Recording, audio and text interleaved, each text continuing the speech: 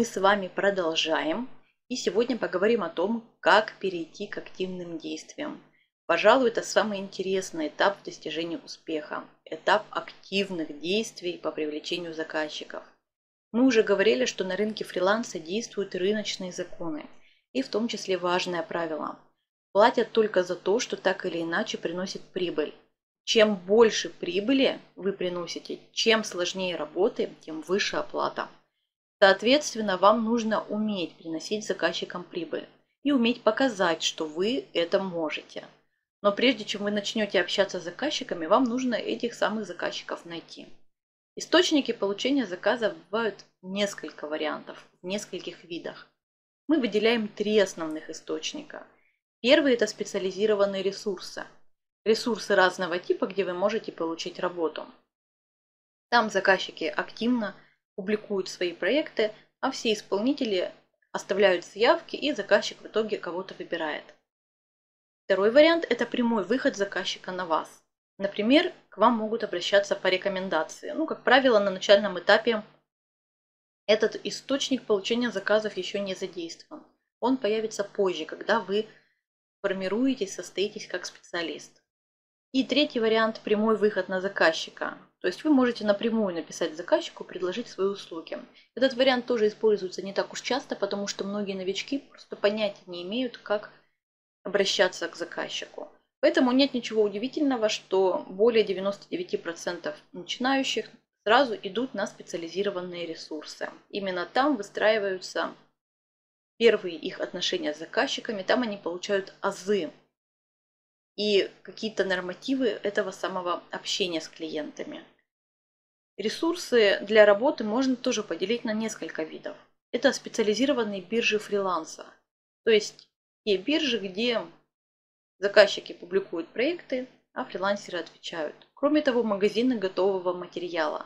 Это немножко обратная ситуация, когда вы уже сделали какую-то работу, то есть написали текст, нарисовали дизайн, может быть, создали какой-то архитектурный проект и выкладываете на продажу.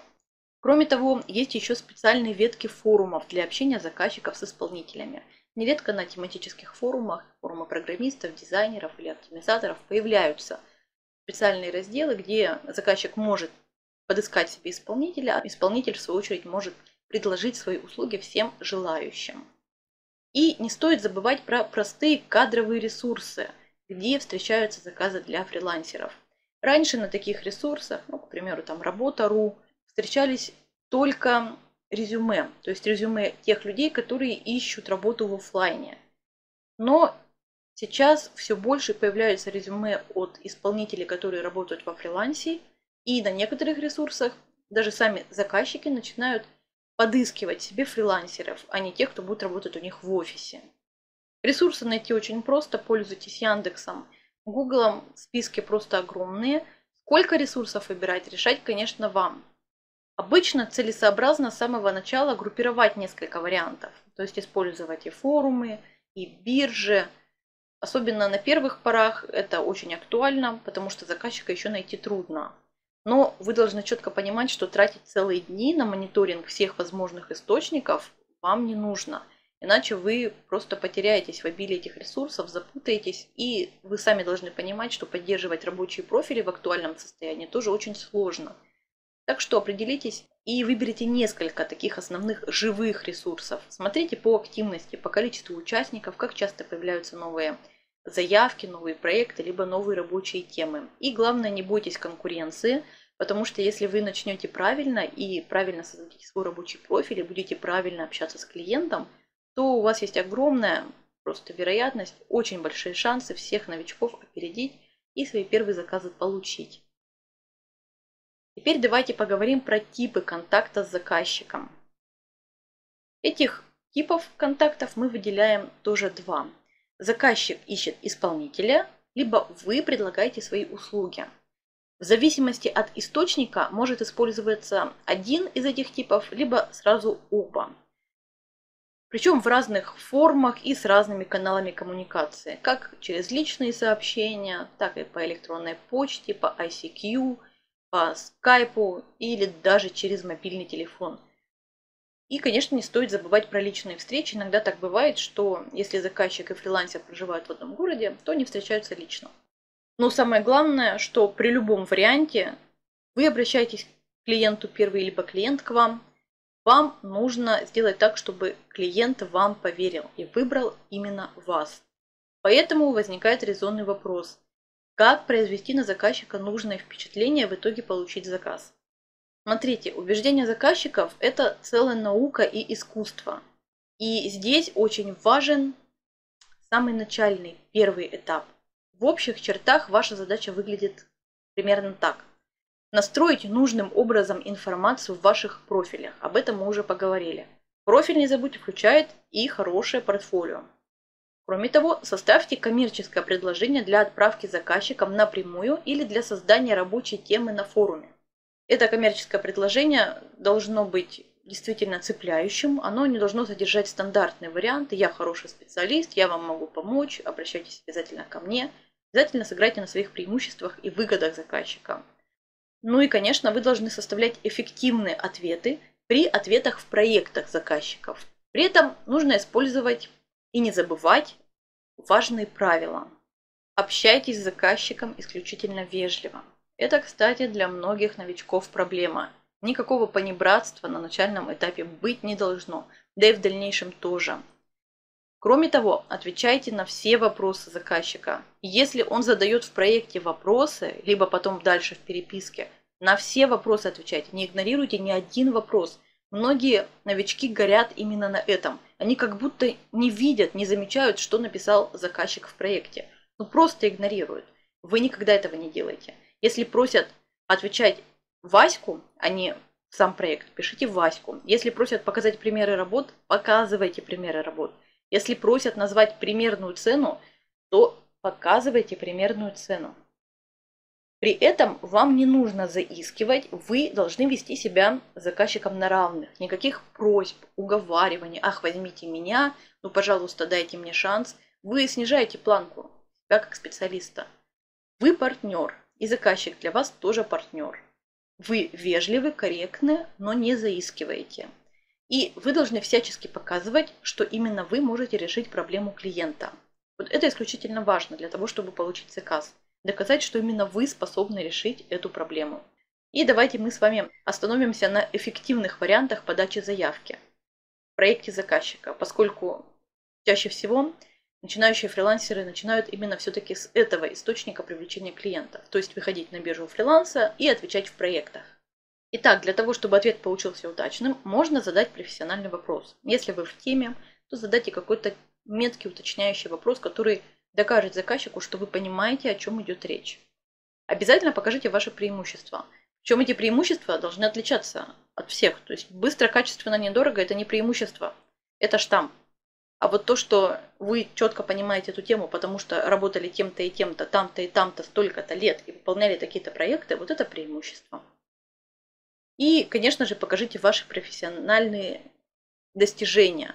То есть предложите несколько вариантов решения проблемы. Это будет очень здорово, если вы начнете решать проблему, то есть начнете как бы выполнять работу, покажете, что вы можете, вы понимаете, о чем речь, и вот вы уже начали предлагать какие-то решения. То есть вы втягиваете клиента в диалог и доказываете ему, что вы не просто подаете заявку, а вы искренне заинтересованы в решении проблемы и вот-вот уже прямо ее готовы всю решить. Ваша задача просто понять заказчика и фактически подстроиться под его ожидания. Вам надо четко позволить ему осознать, что именно вы можете вот эту конкретную проблему решить. Ну, может быть, не с первой заявки, но очень скоро при таком подходе вы получите ваш первый заказ. Дальше возникает вопрос, как заказчика удержать. Потому что просто привлечь заказчика и получить заказ – это недостаточно. Клиента нужно еще удержать. И в идеале сделать так, чтобы он со всеми подобными задачами в будущем обращался только к вам. И здесь мы дадим вам несколько важных советов. Всегда сохраняйте вежливость и такт. Даже если вы со временем переходите с заказчиком на «ты», все равно в ваших отношениях должен всегда присутствовать профессионализм деловые взаимоотношения, даже если вы и говорите «ты». Кроме того, будьте внимательны к заказчику, не игнорируйте его вопросы в дальнейшем, всегда на них отвечайте. Ну и, конечно, имею в виду профессиональные вопросы. Кроме того, Старайтесь давать чуть больше, чем он просит. То есть помогайте советам неожиданным для него, может быть, делайте какой-то бонус. Не заявляйте об этом сразу, а давайте ему чуть больше. То есть ему должно хотеться просто работать с вами. И, конечно, это самое главное, исключительно важно, делайте хорошо свое дело. Если вы делаете свое дело хорошо, при этом остаетесь вежливым человеком, приятным человеком, готовым дать чуть-чуть больше, чем от вас ждут, то этот клиент будет стопроцентно ваш. А теперь давайте поговорим с вами про пассивные источники привлечения заказчиков, так называемый пиар. Это не прямой источник получения заказов, ваш личный пиар, но со временем он будет неплохо работать. Для пиара обычно используются любые публичные возможности. Общение на форумах и в профессиональных сообществах, какие-то профессиональные статьи или участие в конкурсах.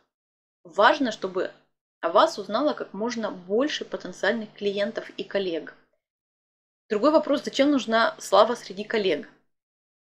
Поверьте, это нужно для того, чтобы они могли вас рекомендовать или просто распространять информацию о вас. Конечно, эта слава о вас, она должна быть доброй. Вас должны помнить как специалиста, хорошего специалиста. То есть у вас должен быть позитивный имидж. Поэтому ваши публичные высказывания всегда должны быть обдуманными и профессиональными. Если вы пока в этом не уверены, лучше с пиаром погодить. И вступать в какие-то споры, полемику на начальных этапах тоже не рекомендуется, пока вы еще не закрепились как специалист, пока у вас еще не появилось имя и узнаваемость. Итак, задание на сегодняшний день. Выпишите на бумаге список источников получения заказов. Вам придется потрудиться, исследовать поисковую систему, набрать этот список, оценить и выбрать для себя несколько вариантов. Потом подумайте, какие источники подходят вам больше. Может случиться так, что вам интереснее напрямую обращаться к клиентам. То есть находить, к примеру, какие-то сайты, которые нуждаются в ваших услугах, и напрямую через контакты писать этим заказчикам, потенциальным вашим клиентам. Следующий вариант. Возьмите любой проект заказчика на бирже фриланса какой-нибудь и оставьте на него ответ с учетом наших рекомендаций для тренировки. Может быть, вы уже создали какой-то рабочий профиль на какой-то бирже, уже его заполнили, Попробуйте. Попробуйте оставить ответ. Даже если у вас еще портфолио не готово, все равно попробуйте. Это тренировка. Чем больше вы оставляете ответов, тем лучше у вас это будет получаться. И напоследок подумайте о том, как вы можете использовать личный пиар. Пусть это будет не прямо сейчас, но тем не менее наметьте для себя схему, план. Когда схема готова, то потом, конечно, все это будет даваться проще, легче, и вы будете знать, как себя правильно вести. И еще кое-какие секреты мы расскажем вам в следующем видео, а сейчас предлагаем заняться тем, о чем мы рассказали, и серьезно подойти к вопросу поиска и убеждения заказчиков. Удачи, до встречи!